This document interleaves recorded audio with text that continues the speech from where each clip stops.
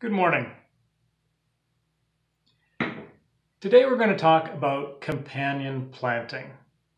I know a lot of people have talked about this, and I tend to stick to some slightly more obscure topics sometimes, but I think uh, it's a good idea to talk about it and uh, and review it for even for people who are familiar with it, but uh, haven't perhaps incorporated it yet in their gardens.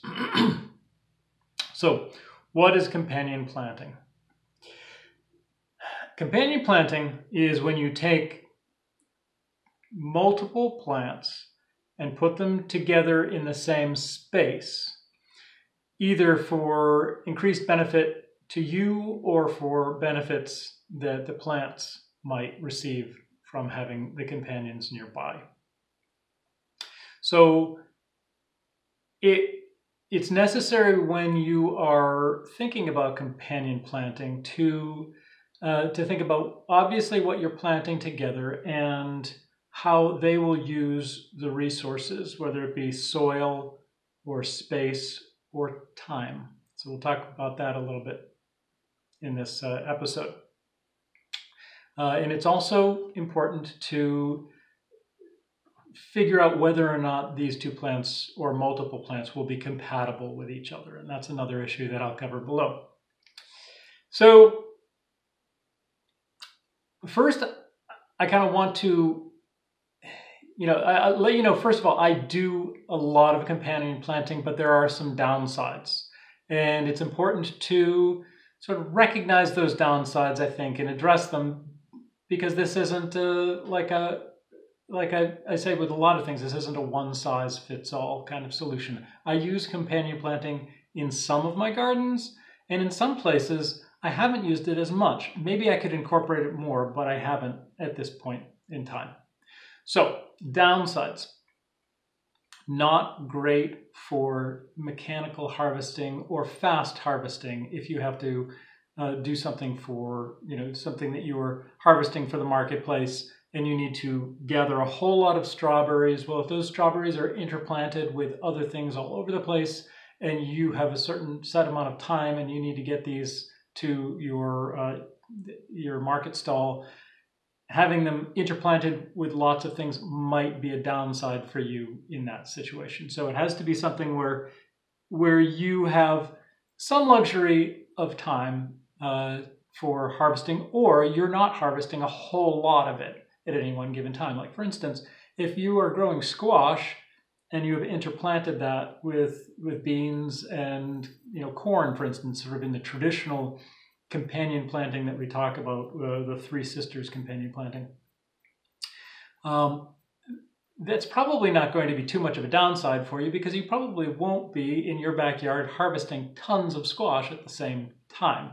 So you can go out and you know pick one squash or three squash if they're like summer squash or what have you, and be very happy with your harvest. Whereas if you were picking hundreds of uh, quarts of strawberries, that would be a problem.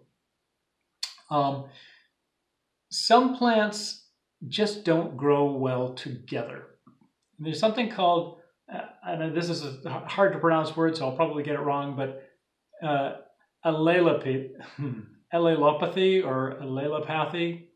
Uh, I've never actually heard anybody pronounce it, but I've read it a lot. So allelopathy, it is where a plant creates uh, chemicals that will basically discourage other plants from growing in its space. And this is often true of nut trees. Nut trees do not make great companion plants. Depends on the nut. Uh, but uh, like for instance, walnut trees have a very uh, strong chemical that they release that makes it difficult for other plants to grow in their vicinity. Same is true of oak trees. So you definitely want to think about that when you're thinking about companion planting. It's important.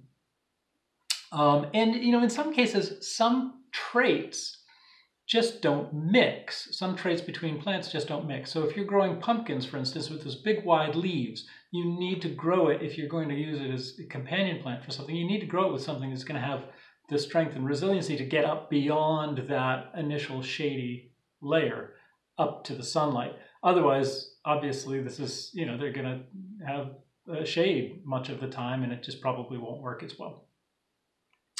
So this leads me on to talking about the niche uh, factors. So you want to think about niches, and typically people talk about a niche in time, which means one plant perhaps grows or is harvested at a certain time, and another plant is harvested at a different time, but you can grow them together. And niches in space, and that has to do with the generally the the vertical space that a plant occupies, the ground covers, the uh, low um, herbaceous, the shrubs, the vines, the trees, they each occupy different levels.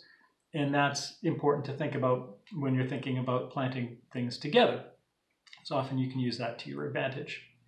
Um, so some examples, you know, squash and beans. Um, they they give this example in the Three Sisters. I say they. This is just a very popular um, concept. Is that you can plant squash and beans together. The the squash shade the soil and you know keep the the uh, uh, weeds down while the beans grow up, but uh, provide nitrogen for the squash. Uh, and that's you know perfect world kind of scenario, uh, but I actually have found that they do grow pretty well together. And one, one thing that was surprising to me was last summer, I actually grew squash and beans on the same trellis. And what I found was that it, there was this niche in time effect. So this big trellis has squash and beans on it. I'm harvesting the beans, and the squash I harvest later. So the squash actually took longer to get up to the trellis and start really filling in the trellis. And by the time the squash was fully established, the beans were starting to wane anyhow. And then I was ready to just let the rest of the beans go to seed, let the squash take over, and, and you know, in some cases shade out the beans. And, and this, this worked much better than I expected. I actually thought that it might not work very well together, and they did work pretty well. So that was niche in time, even though they were occupying the same space, the same vertical space. And so, so it's kind of an interesting twist on the whole uh, idea of a niche in time. Um, another example of niche in time is, say you've got garlic that you've planted. And you know that takes up a lot of space you could conceivably plant other things with that garlic so long as you've got enough nutrient content that you're either delivering to the soil or the soil already has kind of baked into it. And so you could plant radishes with your garlic, for example. And I'm going to do that this spring and give it a shot and see how it works. It's not something I've done before, but generally when I planted garlic, I've interplanted it with some other things and and it hasn't worked as well. And so I've tended to plant garlic by itself. But I think this year I'm going to branch out and try a few more things that, that I can do so that when I eventually harvest my garlic in you know mid late summer that I will have harvested something else before that and maybe be able to plant something after that. So that's the niche in time, another example. Niches in space. Uh, we talked about the ground covers with taller plants. We so we already talked about that one. Um, but then there's another there's another third kind of niche that I'd like to talk about, and that is a niche in purpose. So obviously, some plants are there for your food production, but some plants also occupy different purpose niches. So some will shade the soil from the sun, which is really important. So you've got living mulches. Um, some will provide soil enrichment, like beans. We talked about adding nitrogen to the soil. That really is more when you put the, the vines into the soil and let them decompose there. That's when they will release more nitrogen. Uh, and also um, bringing plants that bring bring nutrients up from the subsoil. And so examples of that might be like deep rooted plants. For instance, like a daikon radish, things that you might plant and, and let actually do that, go to seed and bring, you know, comfrey is a great example of that. That brings brings nutrient up from the subsoil and then you can use it as a chop and drop and provides an awful lot of nutrient value to the plants that can't reach that far down with their roots. So and there's another another purpose for big rooted plants like a daikon radish is that they they create spaces in the soil when they eventually decompose. So they they give you soil aeration, which is also very important, especially if you're doing a new no dig garden where you're not tilling the soil. You do still need to provide aeration, and so planting things like daikon radish can help to create these voids in the soil as they as they decompose and contract, and then you have more spaces for uh, for air to get in. It's easier for insects and things to make their way through that kind of space. And so it's a good way to kind of give your soil more, um, uh, more moisture retention and things like that.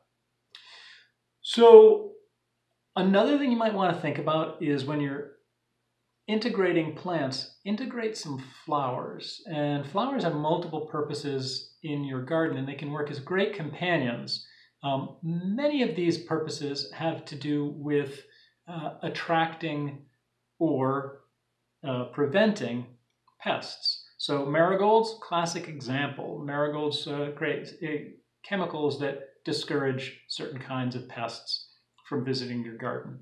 Good thing to have.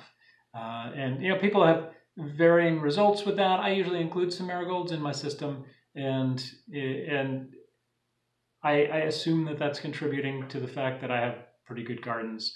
Uh, sometimes you don't know all the reasons.